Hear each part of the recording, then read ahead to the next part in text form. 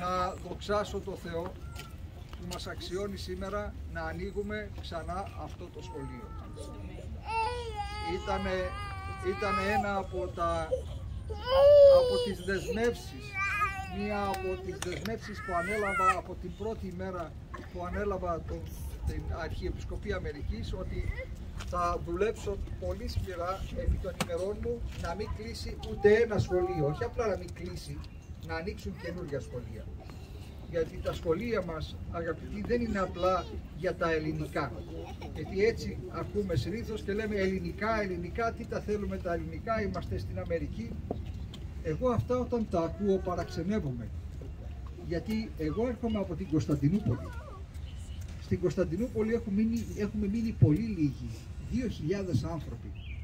Σκεφτείτε και εμείς εκεί να λέγαμε, τώρα πια έχουμε όλοι τουρκικά διαβατήρια, έχουμε μείνει πολύ λίγοι, να κλείσουμε τη μεγάλη του γένους σχολή στην Κωνσταντινούπολη, να κλείσουμε το Ζάπιο Παρθεναγωγείο, να κλείσουμε το Ζωγράφιο Λύκειο, να μιλάμε όλοι τουρκικά, τώρα για να γίνουμε Τούρκοι.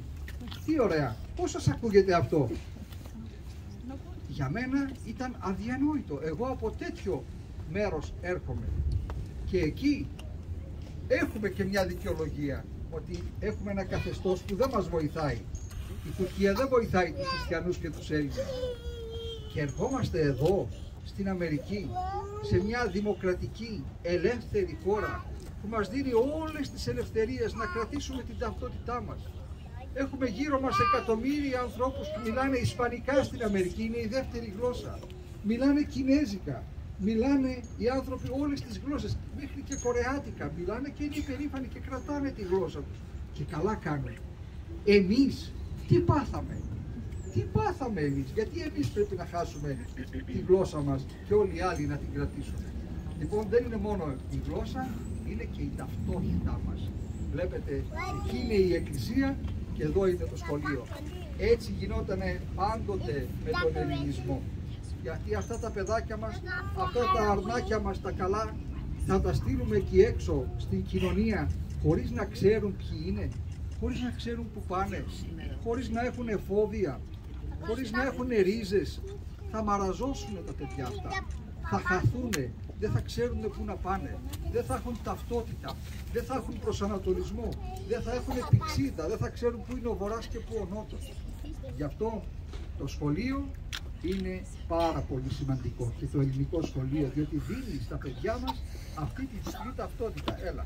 Πόσο είναι αυτό, ναι; Ηλία. Ηλία, Ηλία, hold it together with me. Έλα. Λοιπόν, τα παιδάκια μας αυτά πρέπει να έχουν ένα προσανατολισμό. Γι' αυτό και είμαι ευγνώμων στην κοινότητα. Και συγχαίρω πρώτα τον πατέρα Γεώργιο, τον οποίο τον ζόρισα πολύ στην αρχή. Είπα ότι θα ανοίξει το σχολείο και δεν με νοιάζει πώς θα το κάνεις. Και το έκανε. Και να συγχαρώ και τον πρόεδρο του Paris Council και όλα τα μέλη, αλλά πρέπει πρώτα-πρώτα να συγχαρούμε τους δωρητές, τους sponsors, αυτούς που έκτισαν το σχολείο αυτό, την οικογένεια Λαδά. Παρακαλώ να έρθετε μπροστά, γιατί είστε παράδειγμα. Ελάτε δίπλα μου, σας παρακαλώ. Θέλω να σας έχω κοντά μου. Αυτό που κάνατε φτιάχνοντας αυτό το σχολείο είναι πάρα πολύ σημαντικό. Δεν είναι ότι δώσαμε κάποια χρήματα και χτίσαμε ένα κτίριο. Αυτό το κτίριο, βλέπετε τα παιδάκια γύρω σας, αυτό είναι το μέλλον μας.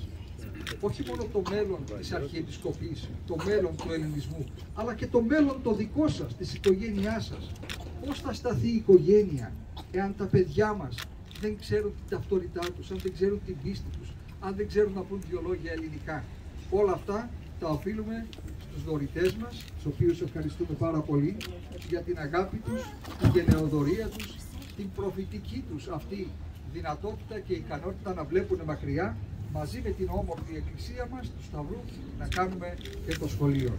Θέλω Πάτερ Γεώργιε, αυτή είναι η αρχή, δεν τελειώσαμε, έτσι θα συνεχιστεί, θα προσθέσουμε τάξεις, θα ανοίξουν όλα τα σχολεία, όλες οι τάξεις και θα λειτουργήσει, διότι οι άνθρωποι αυτοί έδωσαν τα χρήματά τους όχι για να σκονίζονται τα τρανία και οι καρέκλες και οι αίθουσες, αλλά για να είναι ζωντανά, να ακούγονται παιδιά, να κλαίνουν, να μαλώνουν, να... όλα αυτά είναι μέσα στο πρόγραμμα. Λοιπόν, ο Θεός να μας ευλογεί όλους και να μας αξιώνει πάντοτε τέτοιες χαρές, να ανοίγουμε καινούργια σχολεία. Γιατί όλοι έχετε business και δουλειές και ξέρετε ότι το καλύτερο πράγμα στις δουλειές είναι το investment.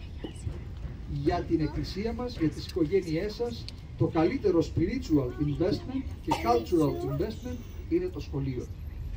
Εκκλησία και κοινότητα χωρίς σχολείο δεν έχει μέλλον. Εκκλησία με σχολείο δεν θα πεθάνει ποτέ. Ποτέ δεν θα πεθάνει. Όλα αυτά τα παιδάκια μια μέρα θα γίνουν altar boys, μια μέρα θα έρθουν και θα δουλέψουν στα ministries της Εκκλησίας και θα συνεχίσουν και θα μπουν στο Paris Council και ποτέ το Paris Council δεν θα γεράσει.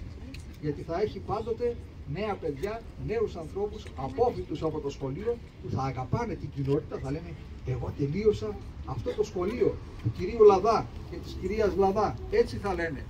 Και θα είμαστε αγαπημένοι και μεταξύ τους θα γνωρίζονται και τα αγόρια αργότερα που θα μεγαλώσουν θα γνωρίζουν τα κορίτσια και θα κάνουν ελληνικές οικογένειες. Όλα αυτά βλέπετε είναι δεμένα μεταξύ τους. Γι' αυτό και είμαι πάρα πολύ χαρούμενος που με αξιώνει ο Θεός μαζί με όλους σας να κόψουμε αυτή την κορδέλα. Ελάτε λοιπόν όλοι μαζί να χαρούμε αυτή την ωραία μέρα για την εκκλησία μας και για την ομογένειά μας.